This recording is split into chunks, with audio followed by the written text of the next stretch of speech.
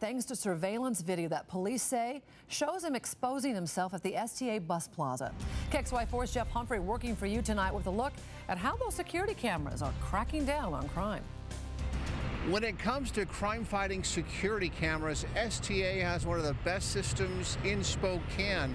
Whether you're on the road or down here at the plaza, someone is watching to make sure you don't regret riding the bus. Just because STA is a publicly funded transit system doesn't mean you can get away with things on a bus that you should do in the privacy of your own home.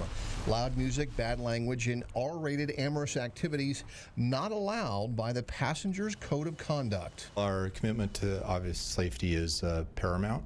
Uh, it's part of our public trust, and we make a huge investment uh, to protect uh, the safety of our customers and provide a pleasant ride. That investment includes at least eight cameras recording both video and audio as the coach rolls down the road.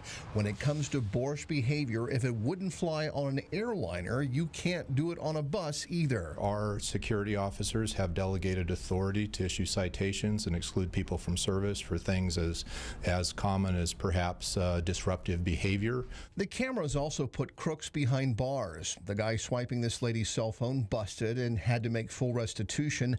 This tagger caught covering a bus with permanent marker graffiti. And Monday night surveillance cams at the plaza allegedly recorded Billy Ogan as he exposed himself to a 16 year old girl. All three of these suspects not only in trouble with the law, but also subject to getting trespassed by STA, which means if they try to ride a bus again, they get arrested on the spot. If we have excluded somebody from service, from uh, a facility, or from our service in general, uh, and then they violate that exclusion, uh, then they can actually be prosecuted as a criminal trespass, which again provides a lot of leverage to both uh, law enforcement and our security. And so, if you have a problem with someone on a bus or down here at the plaza, tell a security guard about it because it's likely a camera will back up your claim. Reporting downtown, Jeff Humphrey, KXLY 4.